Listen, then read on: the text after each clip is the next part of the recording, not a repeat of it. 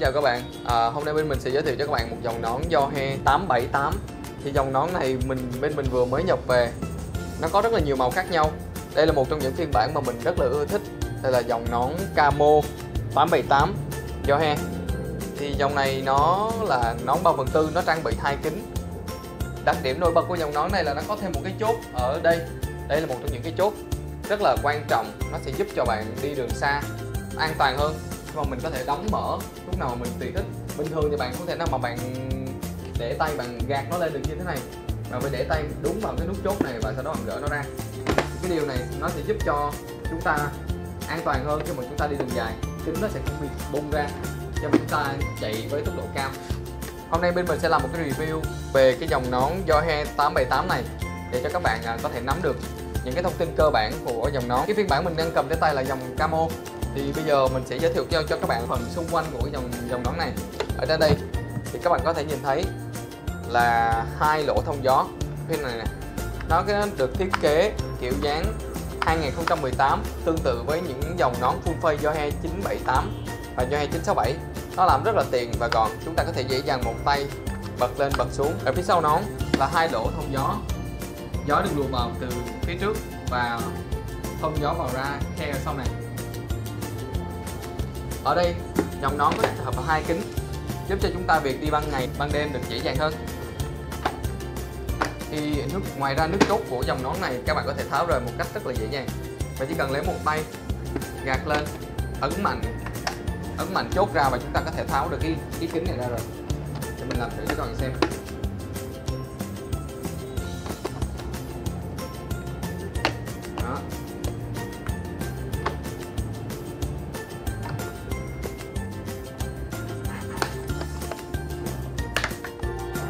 Là chúng ta đã có thể tháo rời được chiếc kính của dòng nón 3 phần tư như thế này. Thì dòng nón này nó có, hiện tại đang có bốn màu khác nhau. Là màu camo, màu đen, mặt como sọc vàng và sọc đỏ. Ở dòng nón này, nó còn một những đặc điểm như là lồng nón bạn có thể tháo rời ra vệ sinh dễ dàng. Bây giờ mình sẽ hướng dẫn cho các bạn tháo rời dòng nón cho he 878 chúng ta chỉ cần sử dụng một tay tháo lồng ở bên trong ra. Ở trong lồng nó sẽ có những cái nút chốt như thế này đây. Cái nước chốt như thế này, khi mà chúng ta sử dụng nón một thời gian dài thì chúng ta sẽ tháo nó ra để vệ sinh, để tránh trường hợp là mồ hôi bám quá nhiều vào nón và nó làm cho cảm giác chúng ta rất là khó chịu.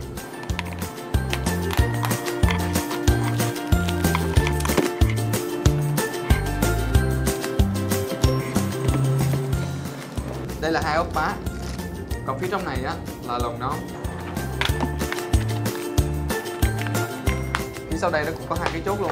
Bạn có thể tháo rời một cách dễ dàng. Ngoài ra, dòng nón này có hỗ trợ chúng ta làm cái đệm mút ở đây. Thì cái đệm này giúp cho chúng ta là khi mà mình muốn kết hợp với các loại bluetooth, chúng ta có thể gắn ở hai bên này.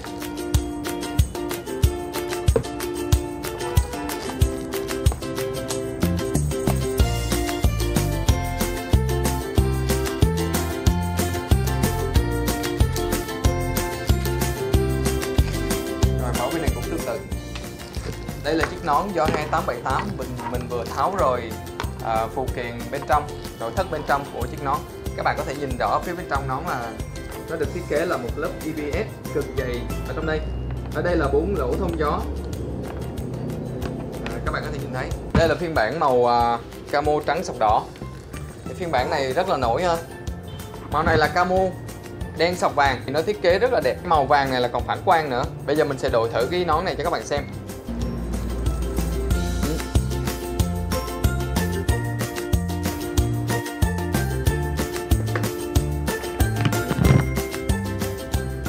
Đây hai kính đây.